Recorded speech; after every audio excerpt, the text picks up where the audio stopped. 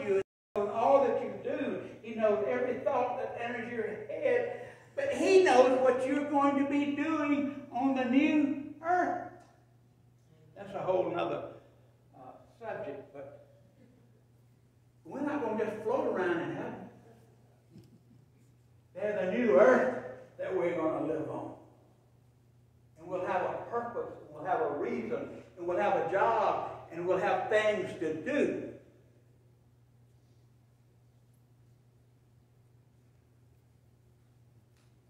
And we'll live forever and ever and ever with the I am on the new earth. Hallelujah. You know, he was such a controversial figure, and he still is. You know, you can talk about God all you want to, but not Jesus. The Islam believes that uh, he is a historical figure, but he was like Noah and Abraham and Moses and Muhammad. He was one of the prophets. They don't believe that he was the I am who spoke from the bush. Now, the Jews certainly don't believe that. Even today, they don't recognize anything concerning Jesus as being the I am. But I think one of the most controversial claims he has is that you can't be saved. You can't live eternally. You can't know God unless you come through me. Because the thought today is that there are many paths to God. Doesn't that sound good? All religions are good. And if your heart is good, even though you are a, a Muslim or a Buddhist or a Hindu, and your heart is good, and you're worshiping idols, and you're calling on Muhammad to help you, that's just one of many paths to God. But the truth is, church, there is only one path to the Father. And that's through Jesus Christ himself. And that's by experiencing him. Not just knowing him intellectually, but having an experience with the Christ. Who is this man? Hallelujah. Timothy, in Timothy, chapter 2, verse 13, it says, While we look forward with hope to that wonderful day when the glory of our great God and Savior, Jesus Christ, will be revealed. Who is this man? He is our great God and Savior, Jesus Christ. And then Peter writes, and 2 Peter 1 1, he said, This letter is from Simon Peter, a slave and apostle of Jesus Christ. And I'm writing to you who share the same precious faith that we have. This faith was given to you because of the justice and fairness of Jesus Christ, our God and our Savior. This man is our God and our Savior. Hallelujah. Hallelujah. Hallelujah. And we can experience him. We can have a relationship with him. We were talking last night, and I was sharing about when I was in Vietnam, 19 and 20 years old, I uh, prayed one of those foxhole prayers, not once, but many, many times. and I said, Lord, if you'll just get me home, I'll serve you.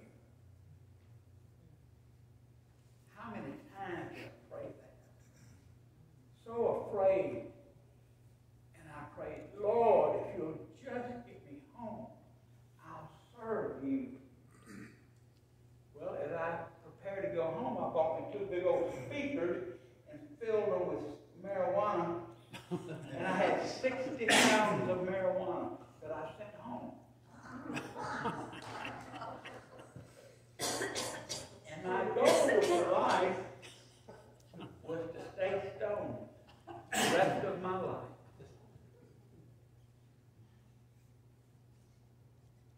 That was my ambition.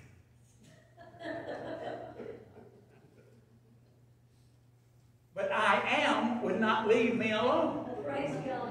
Hallelujah. And he kept saying, I, I, when I tell the story, it seemed like he was right here. He kept saying, Chuck, you said you would serve me if I got you home. And I would go about my business.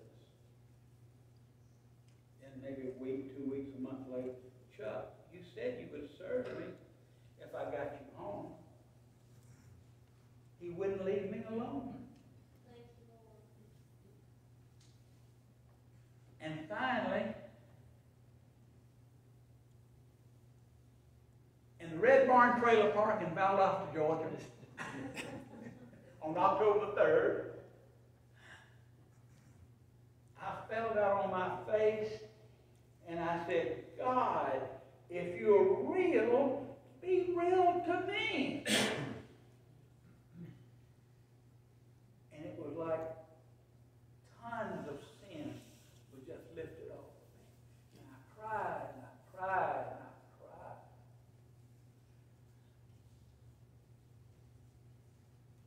But I met the I am. And I know who this man is. Yes. Amen. Yes. Amen. You know who this man is, don't you? Yes.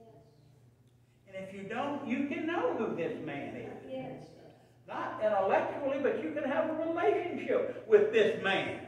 Yes. With this God who took upon himself flesh and walked among us. And then died for us. And was raised again from the dead. That's who he is. That's who he is. I want us to pray for our uh, families and our friends.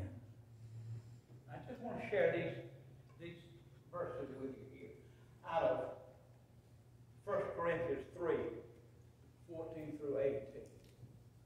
We must pray, as the pastor was saying. We can't be sweet about it.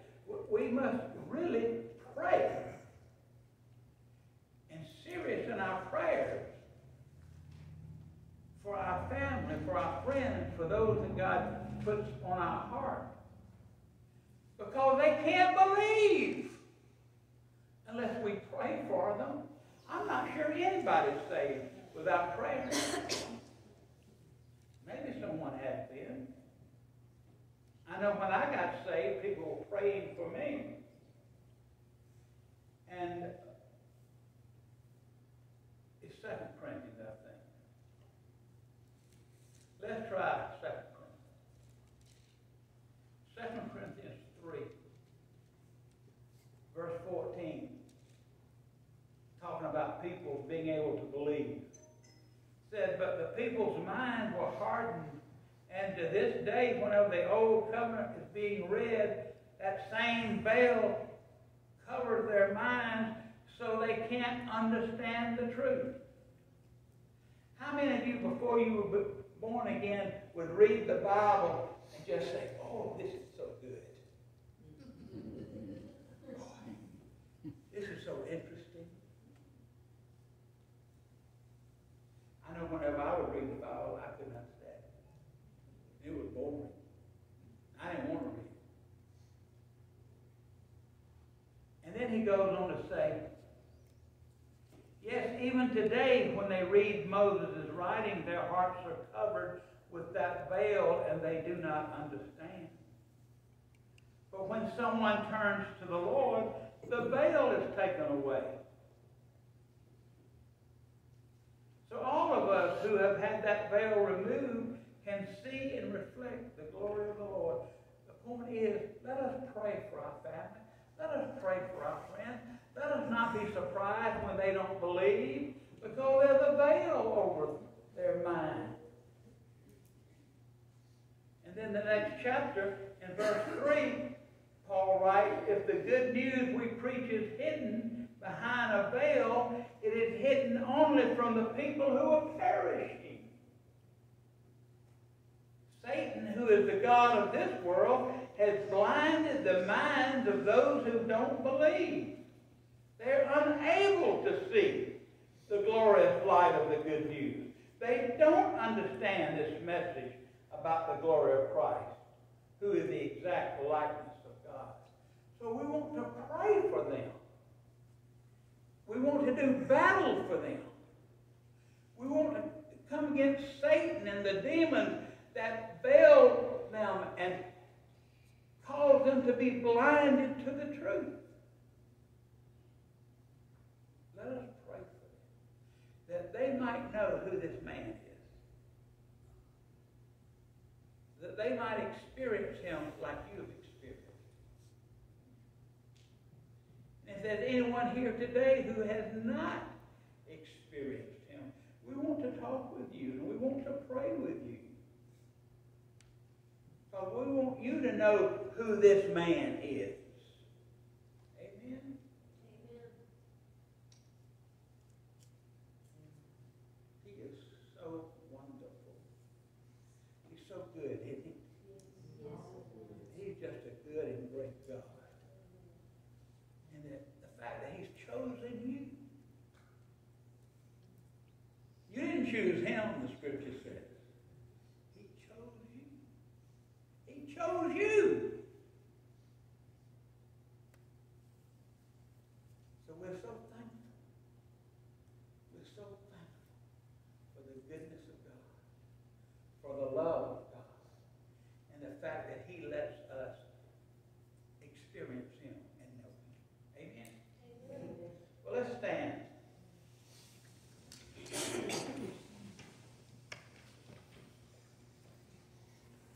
We pray that we can leave today with thankful hearts. That God has allowed us to know.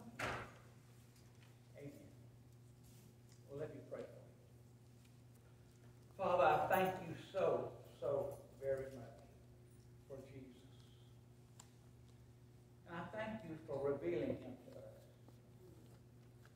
And Lord, we do pray and we intercede for our family and our friends that they too might know the Lord.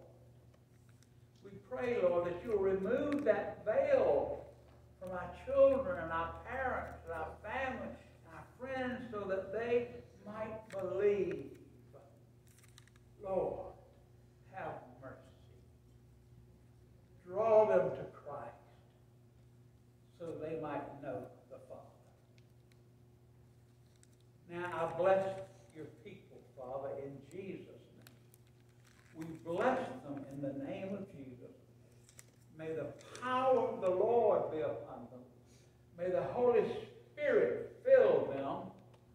May the love of God overcome them. And may you strengthen them and help them with the problems and the situation they encounter. Thank you, dear Jesus. Thank you, thank you, thank you. Amen. Well, don't you appreciate him?